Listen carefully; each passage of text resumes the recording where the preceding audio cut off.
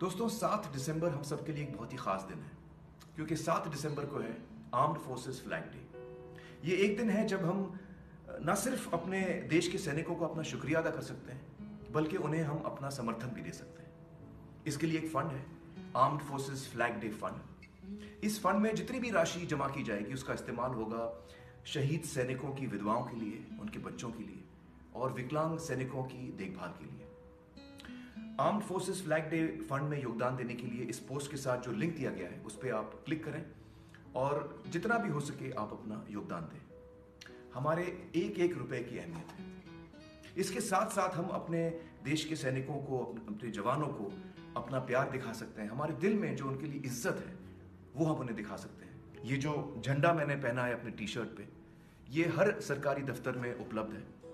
एक दिसंबर से लेकर सात दिसंबर तक आप इसे पहने।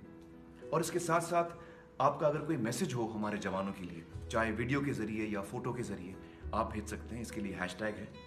Hashtag armed forces flag day आइए दोस्तों, हम अपने सैनिकों को दिखाएँ कि हम उनके साथ कंधे से कंधा मिलाकर खड़े हैं। जय हिंद।